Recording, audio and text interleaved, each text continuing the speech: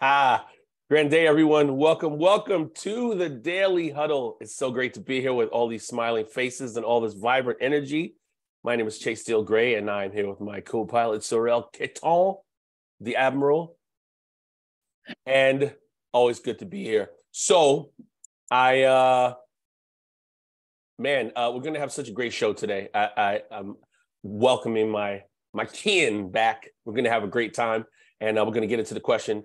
But first, I decided to drop my favorite quote today instead of a joke. It's a quote that I always feel is connected somewhat to this topic. And the quote is Forgiveness is the fragrance that the violet sheds on the heel that has crushed it. Mm. Mark Twain. Roll that tape. Thank you.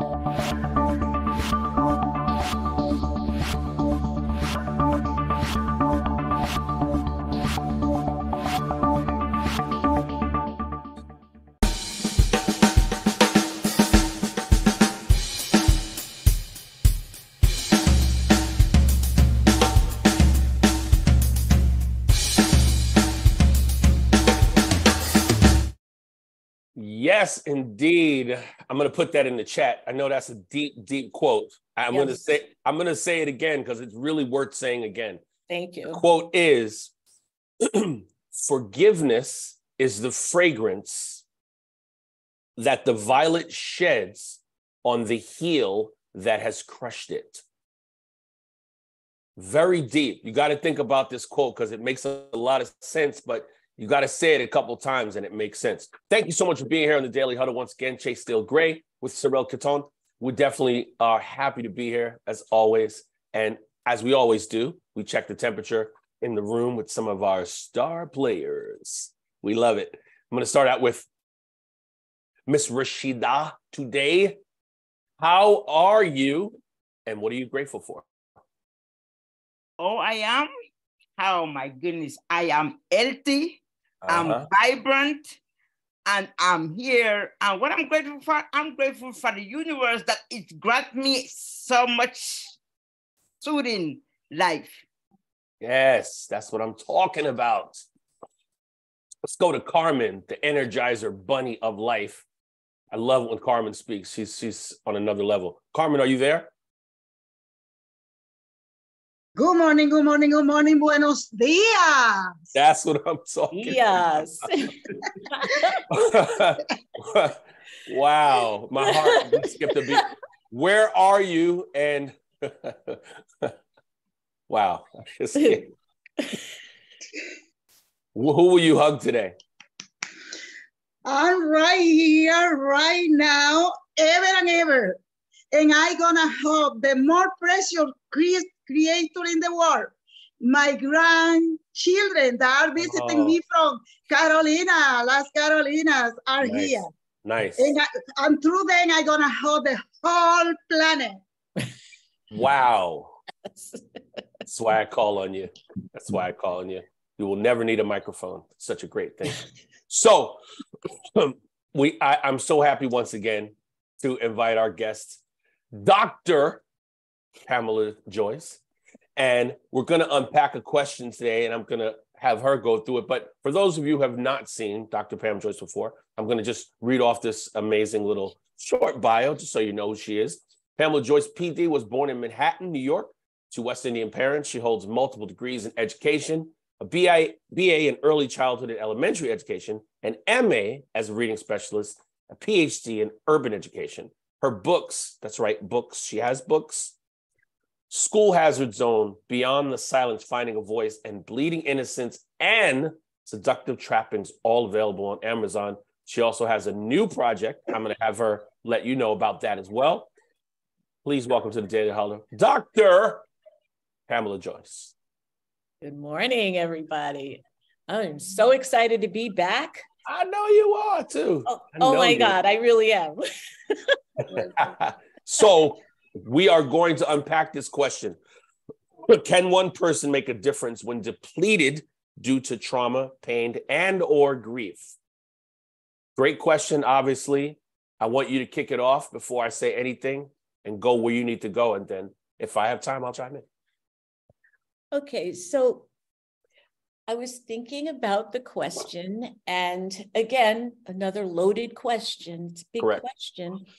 Um, but I thought of this thing that you- you're probably going to wonder where's she going with this, but my first thought was that I see you, and that my friend gave me a um a magnet the other day, and it said I see you.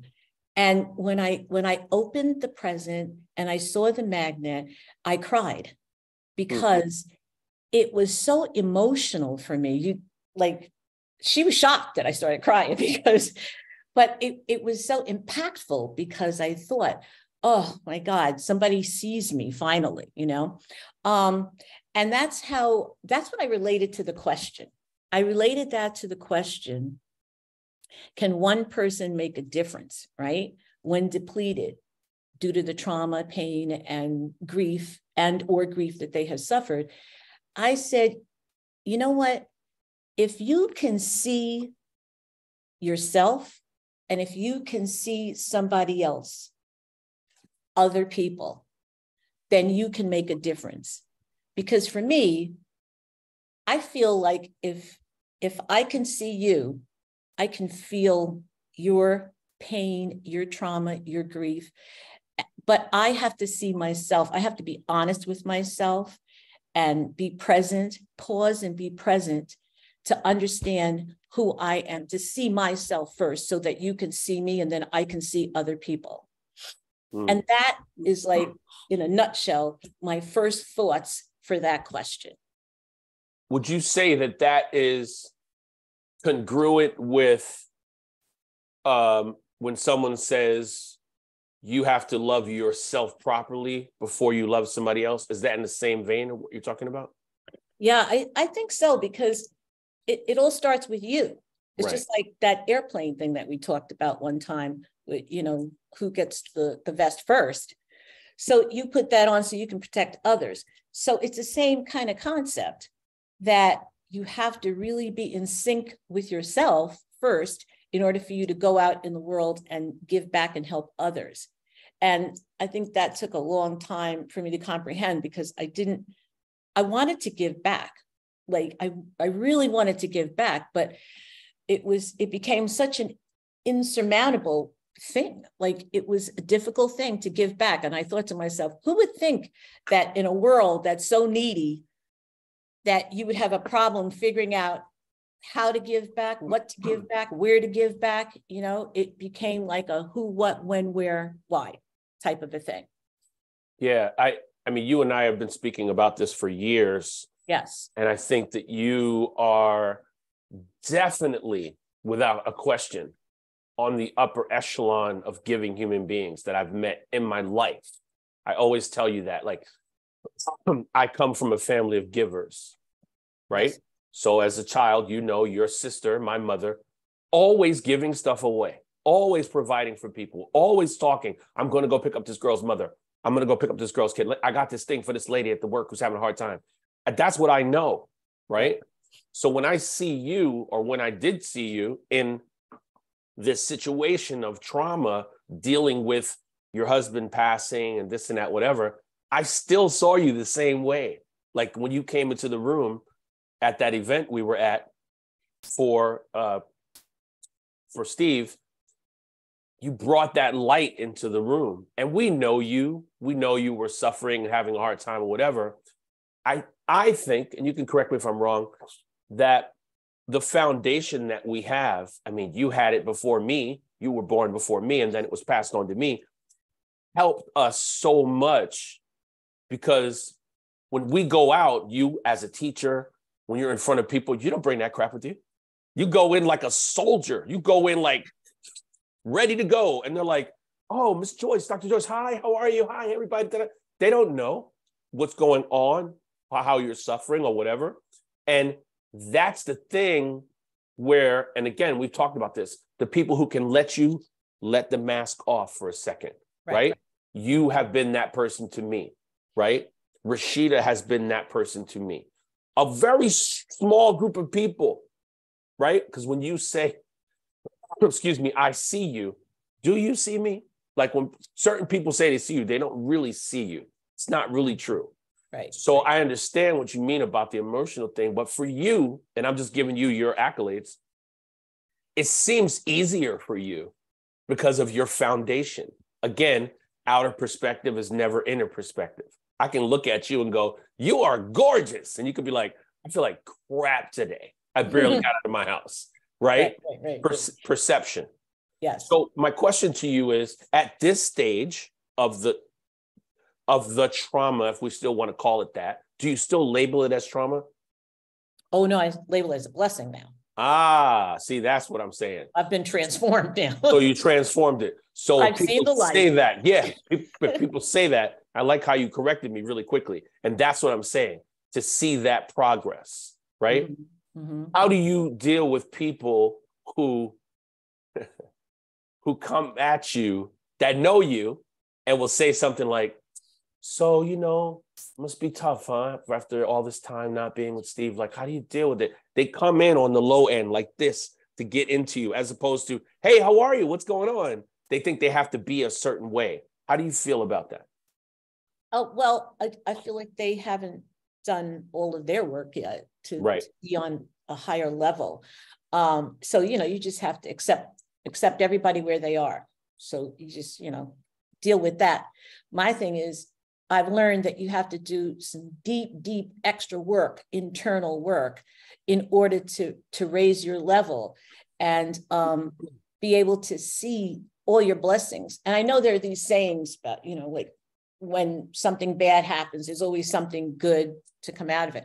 But you have to really dig deep to find the good. Yeah. And it's always there. It's always there. That's the enlightenment that I came up with.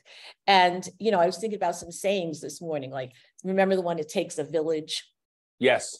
and then um, be the change you want to see. hmm And, um, and, you know, one person can make a difference. And they're all true if you can do that work. Hmm. And, you know, it's just about, well, there, there are different depths to it too, and levels about the giving. Cause I was thinking about, you know, how you said, like, you know, we do things every, all the time in the family and all that. Uh-huh. So the thing what I was thinking about this morning was every day you you try and be a good person. Most Mhm. people try and be a good person. So they're actually doing good things every day. My problem was I wanted to go beyond the one-on-one, beyond the one like I'm opening the door for this person, Right. uh, you know, I'm doing some little something for this one. I wanted to do more giving back that was more lasting and that would spread further. Right. And um, and so I had to figure out what was it that I what did I have to even give that Right. would transcend the day-to-day one-on-one giving back, you know, opening the door for somebody kind of a thing. Right. And that's where the intense work came up. And um, I think like if everybody thought like that, they'd be able to do more as one person. They could do more than open the door for somebody. You could do more than make a meal for the, the needy person in your building, the elderly needy person in your building. You could do more than that. Hmm. You know? And um, so I think it there are different things and there are different ways to give back. So the one that we have in America that kind of saddens me a little bit that that's the one that's promoted all the time is about money. D- donate here, give money here. You know, I like to see somebody. I That's like what I, I'm the same way. Somebody, you know, I don't want to give this money because I, I don't know where that money's going. You know, I I want to be able to, if I'm going to give that money, like okay, I'd go to the food bank and give them a Costco card so they can fill up their fridge. Right. Okay, that that kind of money is fine. But then beyond that, can you share any of your expertise? Can you share your knowledge? Mm-hmm. Can you share your education? Can you share some skills that you have? Can you do that? That's where the hard part comes because you have to fit into a box in order to do that. in America, at least. That's what I found out. If you want to help this one, you have to like get trained in this area. Oh, we have a little training session first, and then we do this and that. And I said, okay, well, I don't, I don't want to do that because I have my own thought in my mind what I want to do and how I want to help this person, right? Or these people, right? I don't want to be trained to do that because I already know how to do that.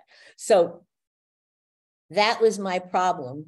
And, um, you know, I had to explore many avenues. And uh, like I mentioned the last time, so something came up that out of the clear blue, you know, just came up in the form of the collages thing. And that's how I figured to, I can now touch more people and gather funds to touch people and actually meet people. Right. Can you, um, because I know maybe not everybody was on the last one. Can Yeah. you just give us a brief overview of that one more time? Because I want to make sure people know about it. If you have any there with you, just grab or whatever. I don't know. Um, Yeah. it's okay. It, I mean, it doesn't have to be. You don't have to if you don't have it right now. But um, I really think it's a great project, and I think that um, uh, I really like what you said about the bigger give Yeah. right? You can go to the store on your way to your friend's party and give them a plant, or you can go to the nursery and give them seeds to grow a tree. Right. It's a big difference. A Yes. big Yes. difference. And I thought about that in our family where I forget where we're going, but somebody gave somebody seeds for a tree. And then later I had to come back and went, whoa, that's the tree that was planted. And that kind of giving is very, very powerful to I know I don't know if you're familiar with Tyler Perry, but Tyler Perry did something in Atlanta where he found out all these older people were not able to pay their uh their mortgages, they were going to lose their houses. So Mhm. he gave the city like five hundred thousand dollars, and the money went across everything. And every year, that money goes to different people in perpetuity. I was like, wow, that's what I'm talking about. Mm-hmm. Right. So- and and you see how he did it. He made it up. Like he figured it like he did. Correct. He created that. Mhm. I prefer to do that than go fit into the box Yeah, no box these people have these things already. And you know, it's too I don't- agree. I, I don't I don't know if it's too it's not personal enough for me. It is possible, and that's that's the point we're making with with this um, topic. But I think one of the most important things, and I hope that that's what's going to happen with this Zoom, is Yeah. as it sits there, people will look, or maybe someone will call you, or call me, or text me and say, "Hey, what do you think I should do with such and such?" Because as almost everything in life, a lot of people don't move until they see somebody. Wow, you did that Right. yeah, I could do that. And then they go forward. And I think a lot of times people get caught up in the amount of money you have, right? Right. Right. Oprah was talking to Mhm. uh, to Letterman one time, and Letterman said, "You are Oprah Winfrey. That's incredible. Well, how does that feel?" She said, "What do you mean, Dave? I'm just me." He said, "But when you give, you make schools. You you fly people to other countries." And she said, "Listen, I want to say this is very important. You give the way you can give. If you Mhm. give five dollars to that guy on the street, you just changed his whole day. Right. If you give four hundred thousand dollars because you're a millionaire, okay, you do that. People stop trying to get to other people's level of giving, and I never Right. got that. Like we can do something. Everyone can do something, right. right? Exactly. and and your trauma and my trauma, we all have trauma of some sort. I feel it lifting when I give to people, when I show up for people, and they always go, "Man, you always so happy. You always have it all together." No, I don't. you just see me at my high moments. If you saw me in my low moments, you would go, "Oh, wow." And I think that's important to expose on certain levels that no one is hitting the mark every day. We all have insecurities. The trauma takes us to different places back and forth all the time. I was mm-hmm. I was crying the other day on the train out of nowhere. I brought this up before. Out of nowhere, my body needed to cleanse. I went through it. Right? So Right.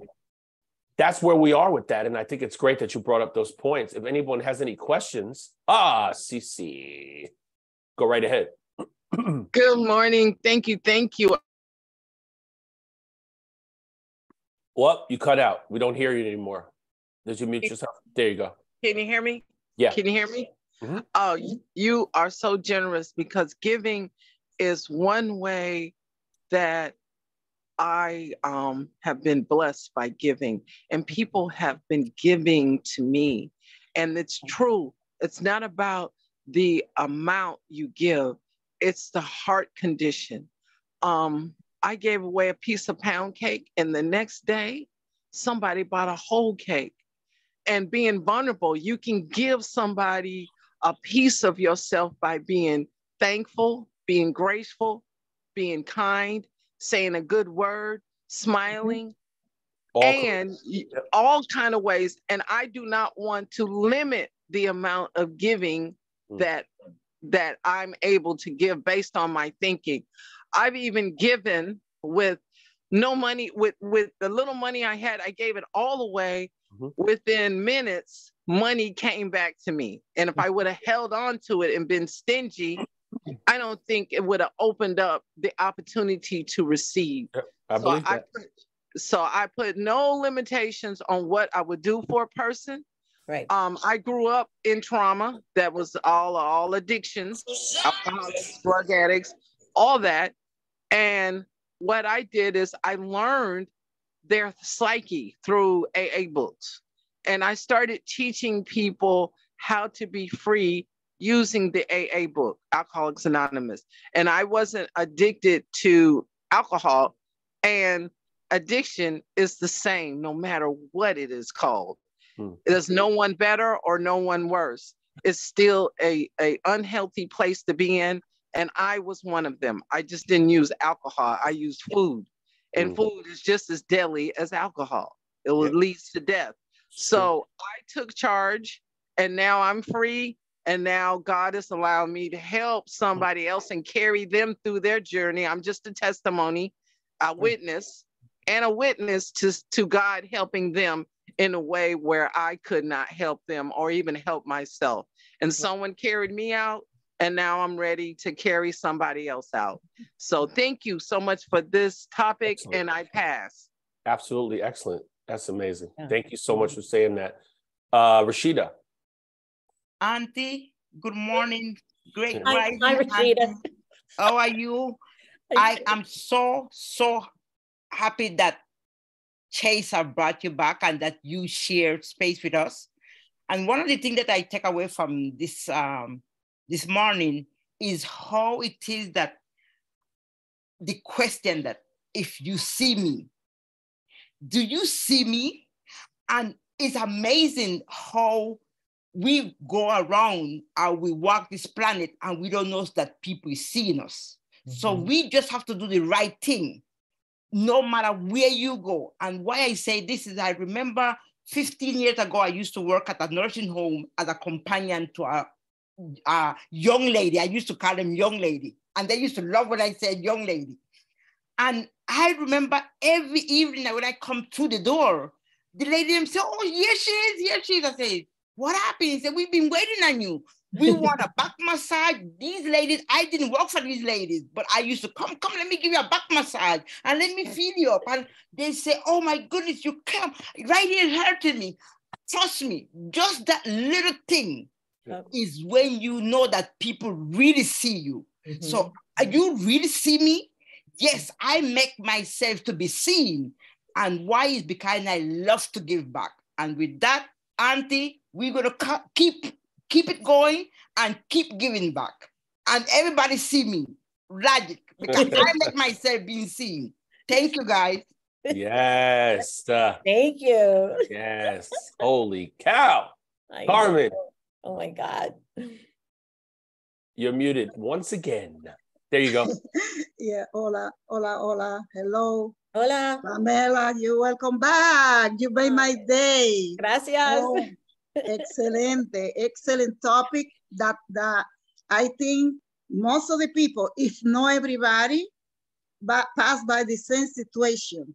Mhm. That no matter what we have in our heart, and we go out, we what we we uh, we we better smile for the people because I have a thing that no matter what uh, the day that I go out and I said I look at people, people smile to me. And I remember one time I was taking care of a young lady like Rachira, like I was a home care worker too. And uh, I was working with, the, with her in her neighborhood. And people smiled to me. And she said, I'm living here since I was born. And I never go to the street and nobody smiled with me. and I said, maybe can, we practice to smile first? That maybe you smile to them, they're gonna do the same to you. Mm. And this is a it's a beautiful thing that even in the situation that we are, that we coming from, that we can be a giver and in smiling. Because when you smile, the sky is open for you and you open the sky for others that they don't know how to smile. Thank you. With that, and our blessing for all. Thank you. Yeah. That is so, so cool. So powerful. So it powerful. Is. Yeah. When you hear each person speaking, yeah. Again, I keep going back to this concept that I said before. It's that balance between how people see us and how we really are. Right. Like sometimes we really are not good. I wouldn't go out to lead my band or go to another band and come in like, oh, I'm not feeling that good today. I'm just going to do whatever. I would never do that. Right. But I, I came to some times when I was I was really not in a good place. I was upset. I was crying. I had some things going on in my personal life, and I had to pull up to that level mm-hmm. to do it. And that's the part where, when I'm talking with you, that we interact with. Like, we want to get the momentum so that we're there most of the time, not having to switch right. Right. back and forth. Yes. Sometimes it's tough, man. Yeah. Woo. And then, you know what? Sometimes when you pull yourself up, when it takes everything in you to pull yourself up, you you not only help yourself at that moment, you help yourself for later on too, because what happens is you realize you have the power to heal yourself. And if you can pull yourself out, up out of the depths, out of the darkest, darkest places, and you do that for yourself, right? That's powerful. And right. you claim that power. Right. You know so um i think it's very important to give those things back to people who who seem like they have a problem pulling themselves up. That means if you were able to do it that's a, a lesson that's um, something really good that you could give back so you could give that back whatever it is i mean you know that's why i said um, my husband's passing and everything. That's why I said it brought me to a very higher, higher, higher, higher, higher place in life. Right. Because I had to deal with dig, dig so deep right. that you raise yourself so emotionally, you know? And so I have such a passion and a fervor inside of me to give that back because I know people can help themselves now when at the darkest point at the darkest point. Right. And I want to give that back. And you asked me before about the uh, collage thing. Yeah. So this is the, as I dug deep, the deepest part in me created the collage, right? So I don't know if you can see this. This is just one of them, right. but the site, you have the PJ healing spaces on the Right. I believe it's on the thing. Yes. I believe okay. it's mm-hmm. So I created a little site and um, these are the collages. You can see a, a, number of them. I have like a hundred, but a number of them are on this new site. It's under construction now, but you can still go there and see um, what it's all about. And it's based, it came out from the books that I wrote when I was trying to, you know, when I was actually being very cathartic writing the books. I wrote four books and they're like a healing series about it really all to do with bringing myself up from the depths into the light. And so what happened is the collages came out of that because I illustrated the books with the collages. And when you go to the site, you'll read about, you know, the whole history of that. But the thing is, I was able to figure out I could give back with the collages. So now the site is a site where I sell the collage and 50% of the proceeds go to the like the needy in in the town. I I'm going to pick uh, five or four local places in my town where I would give the money to um, at the end of each month after you know the sales for the month. So I think that um, I finally found some way to reach more people, like help more people uh, through a talent that I have. Right. Sorrel, I'm sorry to keep you waiting for so long, Captain. Uh, no worries at all. It's worth waiting for. I wondered where you went. Where did you go to? I I am here. Uh, I'd love for you to end on this note. The way Uh-oh. you spoke today, you said you related the question to the phrase "I see you," yes. and I know a lot of people hear that phrase. They've watched Avatar, and everybody's walking around saying, "I see you." And I'm wondering, do you have a ready access that you could help us gain right now to seeing another? So the question I have is, how do I see another? And see them in a way such that for them, they are seen. Yeah. So my thing was that I was kind of judgmental in my life because my in my family uh, there were a lot of judgment things. So I was raised like that. So I became judgmental for a lot of things, and I I have realized that over time. So I see you to me is when I can see in that person, I strip them bare of all the things that bother me about them. Okay, because that's their personal thing. They became that way through maybe lots of hardships and experiences that I'll never know about because they're not even going to share that with me, probably. You know what I mean? And so I have to see them for, for their best self. And everybody has a best self because uh, somebody said something like, like everybody, like if you're a mother, the kids love you. If you're father, the kids love you. you you're this, if you're a teacher, your students love you. People love you for various reasons. So I try now and see them for something that they could be loved for and not something that I have a problem with, which is my problem. That would be my problem because they're living their life. Okay. And so I need to, to accept them for who they are and and accept those experiences because I certainly want people to understand my experiences and don't judge me when they come to see me or they're talking to me. And so I have to learn how to look at people and see them for their best self and not the things that bother me personally about them. I, I got it. I got it. Thank you so much. So I'm walking away with this. Seeing another isn't something I do with my eyes. Mm. It's actually something I do as a personal gift that I give to myself first of ridding myself or disabusing myself of my interpretations of who they are.